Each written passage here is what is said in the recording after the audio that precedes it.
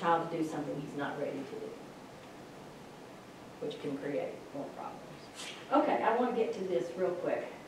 Um, The other thing that we're not allowing our children to do is take risks. Uh, They need to be involved in risky play, and this is like a whole- another whole conference. It's because if you saw your child do that, what would you do? Nothing.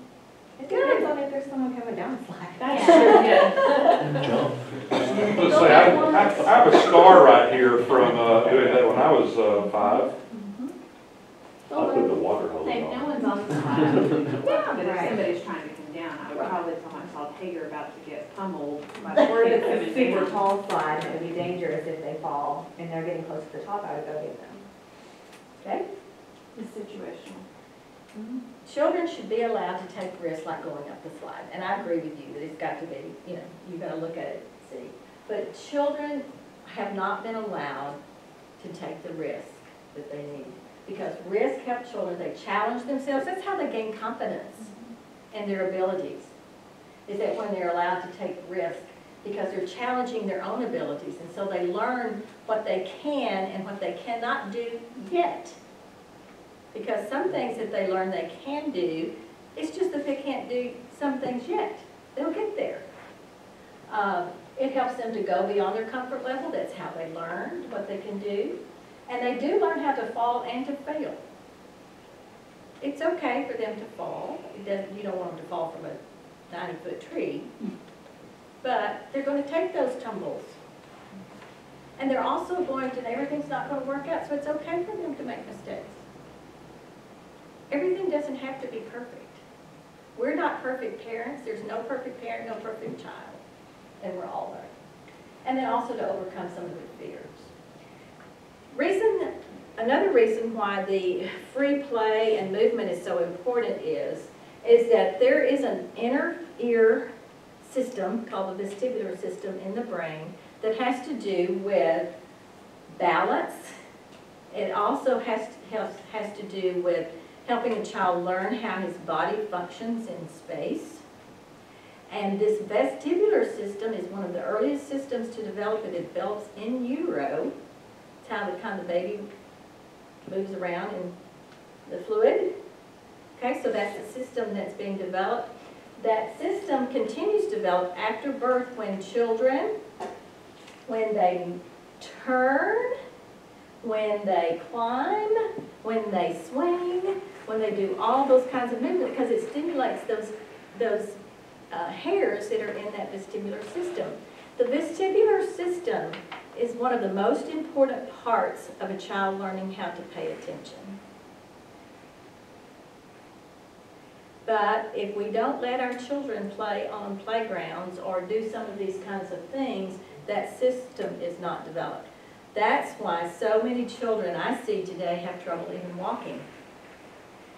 Or they don't have a balance. It's because they're not getting the type of movement that they need. And you can just see it. They have to have that sense of internal balance. There's another little child taking a risk, and he's okay. He survived. The other thing that I, I would encourage you to do, and that is to get outside. There is no, nothing better for children than being outside in nature. Uh, I'm a big proponent of taking kids outside, especially if they're upset, you can take them out into green space. And there's research that says that their cortisol levels immediately drop once they see green space. So they need to be in, outside, they're happier, healthier, and stronger because it develops their immune system. They need to get dirty, they need to eat a little dirt.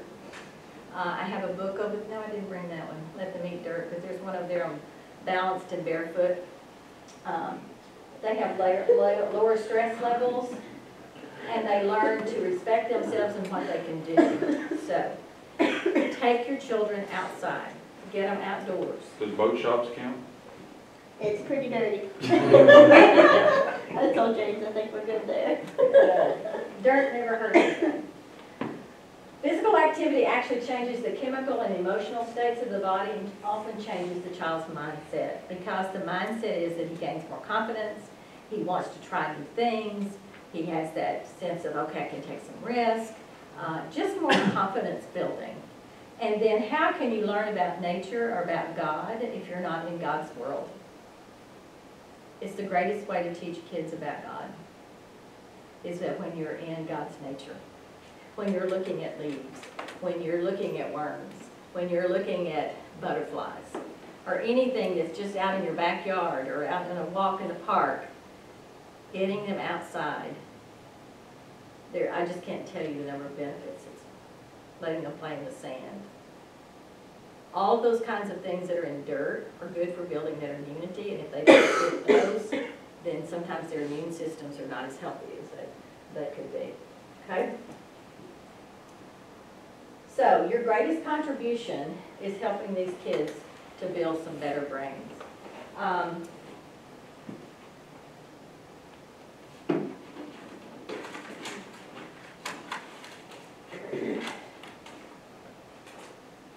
Maryann, you got about three minutes before we need to go pick up our Okay. rules.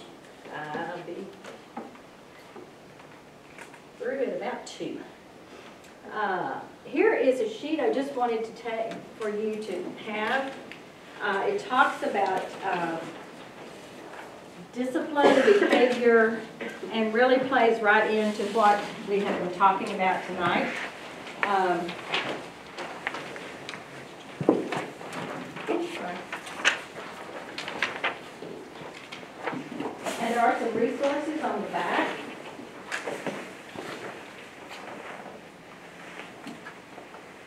I want you to look down to about the one, two, three, uh, third arrow. Behavior is a consequence of feelings and needs. Addressing the feelings and needs or the behavior will not change. Some of the forces affecting behavior in the diagram below. And if you look on the back, you will see that diagram.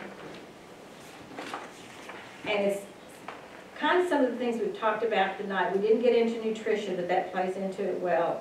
But the exercise or movement part, the stress will affect, so anything you can do to uh, lower some of that stress level, which does come from building those relationships. And of course, then sleep, which is another one we didn't get to talk about, but that's very important too. Um, and just remember that a young child operates from the emotional parts of his brain and is unable to access, access the higher level and sound decision-making part of his brain that's necessary for self-regulation. So all young children are operating out of that emotional, I need connection, I need you type part uh, of their brain. So I hope this will be uh, a little bit helpful for you. And then I have a sheet that, as I stated earlier, uh, we can't parent without God. And so sometimes it's always nice to know, well, how can I pray for my child? And so these are, this is just a sheet that is just some little sentence prayers that you can put your child's name in them.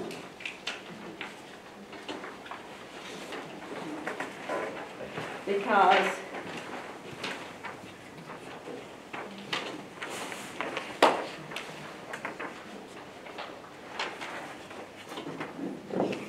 Nothing is better than praying for your child each and every day.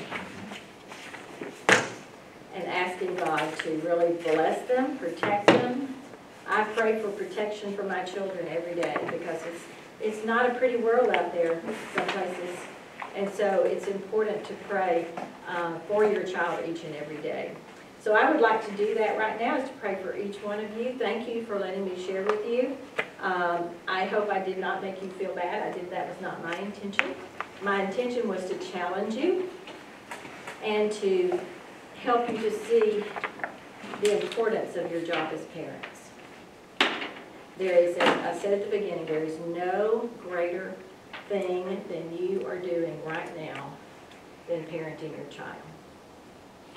Trust me. I've been there, I survived, and you will too. And I know I was sitting in your chair not too many years ago when people were saying that to me, that what you're doing is so important that it will pass. And I kept going, no, you just don't understand. You just don't understand. So I know what you're thinking, but it will pass. those years are short. The days are long, the years are short, as they say, and that is so true. So I just challenge you that whatever you need to do to have time for your child, to build those relationships, to help them develop that safety and security in their feelings of attachment, do it. You will not do anything better for yourself and for your children and for our world than investing right now in the lives of your children. And I know it takes some sacrifice, and so I pray that you would be open to doing whatever you need to do. So let me pray for you. Lord, I thank you for this time that we've had together. I thank you for each of these parents that are here. I thank you for their children. Lord, they are all such precious gifts from God. And Lord, I know it's hard. I know parenting is hard. It's hard work. So I pray that you would just bless each one. I pray that you would give each one the strength, physical strength, emotional strength that they need to be able to be the parent that you would have them to do. And Lord, we know we all mess up. We know you're a forgiving God. And we know that our children mess up. And so as parents, we need to be forgiving parents. You parent us with grace. So I pray that we would parent our children with grace as well. I pray that you would just bless each family as they go back, now to their homes and give them a good night's sleep and rest. And it's in your name I pray. Amen. Thank you so much.